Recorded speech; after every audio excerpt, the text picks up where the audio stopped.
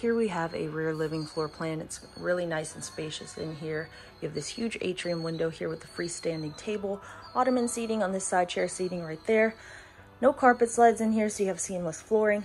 A couple of theater reclining seats here with heating and massage, LED accent lighting, storage up top here, as well as up top here above your sofa.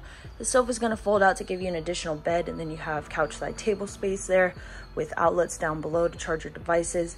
Storage here above your fireplace, TV's mounted right there, and then you'll have your radio control there with storage on both sides here. Pantry space is located right here next to your cooking area. You got the three burner cooktop and oven, extra counter space right here if you needed to add in appliances. You got the full size microwave right there. And then you're going to have extra counter space here where your sink is located and storage down below. Huge fridge here, so lots of room for all of your food items. And then you have this additional hutch area over here.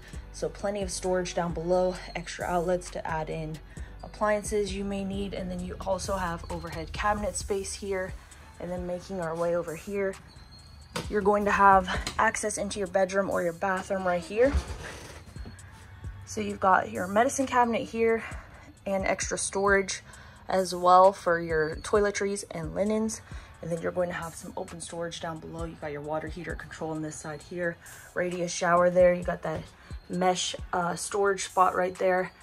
And then instead of a skylight up top, you do have that light right there. And then you have your closet storage right here. So you can access this from the bathroom as well as your bedroom, hanging closet storage there, dresser space down below, and then a ton of storage surrounding your bed that you have here. So you've got a queen size bed, decorative lamps on both sides, storage down below, shelf space up top there with outlets and USB ports to charge your devices, and then more storage over here.